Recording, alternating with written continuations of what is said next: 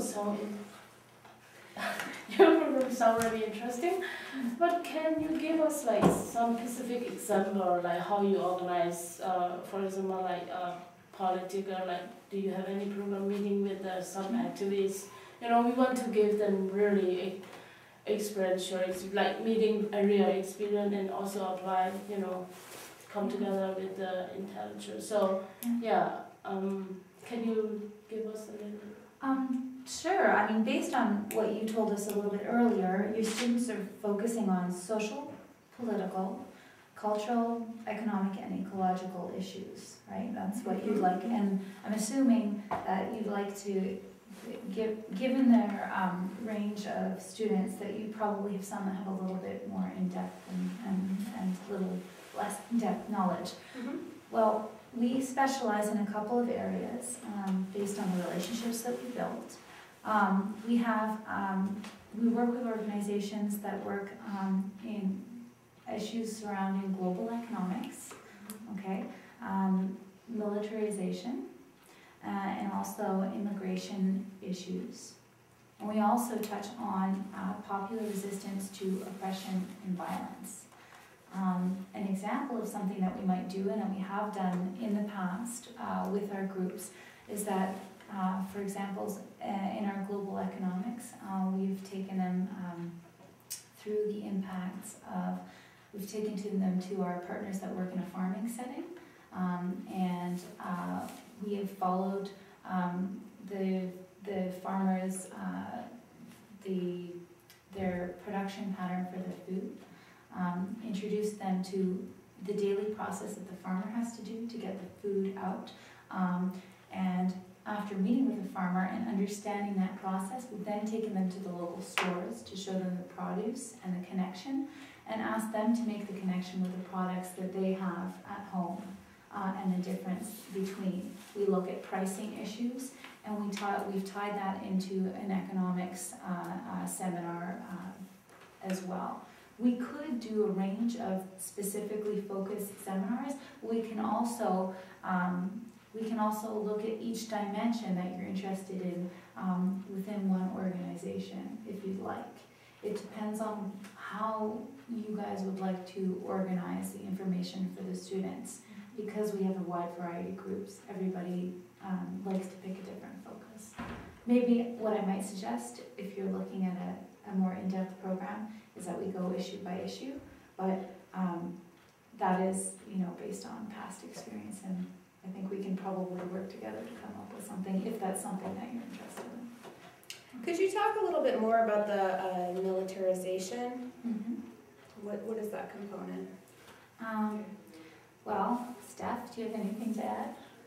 It's not my area of expertise. Um, I'm not too sure actually. Okay. Sorry. Um, we have actually a partner that specializes in the, the concept, the issues that surround militarization. So we're not dealing with um, taking, uh, you know, our participants into a dangerous zone. We're dealing more predominantly um, with exposing them to the effects um, on people's lives. Um, so we look at the, the border relationships and we also look at um, uh, within the schools. We look at recruiting programs um, and how youth are affected. We could draw a nice parallel actually, because we have looked in the past at how youth are affected by the militarization um, on both sides of the border. That might actually be a nice thing, but that's what, what we've done in the past is focus specifically on the Mexican side. Um, but given the range of interest that your group has, it might be neat to link that back to their reality. That's kind of um, what we would go through. And um, I know that this sometimes is um, specific to um, your group uh, in terms of levels of exposure that you want to bring, how close, how much you want to expose your uh, participants to. So we would have probably have to have a pretty in-depth discussion before we go into that about what um, what types of um, situations you want to explore with your students. Mm-hmm. It sounds like you have a pretty particular clientele based on um, what you've told us. To be honest, my concerns are really about the academics. Um, we're looking for a lot of historical context, and this is really a survey. And it includes Mexico, but isn't limited to Mexico, so that's one of my big concerns with using you as a provider. Um, so I'm not sure how Latin America, the Caribbean, Central America all come into play with this type of a program, but that is included in our curriculum. Okay. Um, so we're, we're pretty concerned about providing our students with that survey, and Mhm. I'm not sure if, if we can adapt.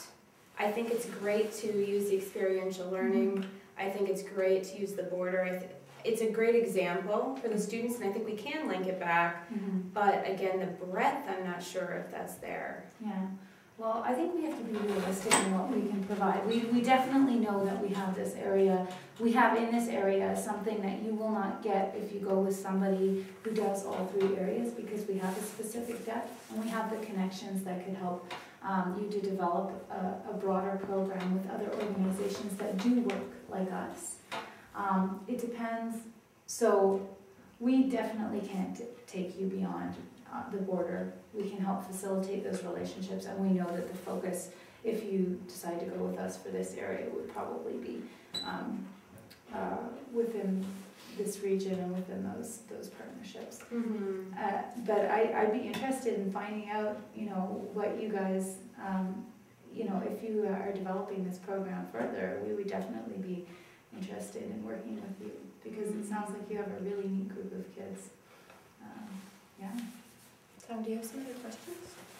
Um, Well, the, yeah, well, I wasn't sure we want to go with that, uh, you know, um, yeah, I mean, I understand that, uh, the way I understand it, we want to learn Pacific, mhm. um, experiential and also intellectual, and then put them together and, uh, you know, in a, in a larger picture, Mhm. so, yeah.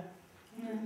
Yeah. Mm. Three weeks, that's a lot of information. I mean, I'm just thinking, I can imagine the kids, uh, we've done programs for professionals and they were, you know, pretty um, immersed after a amount of time.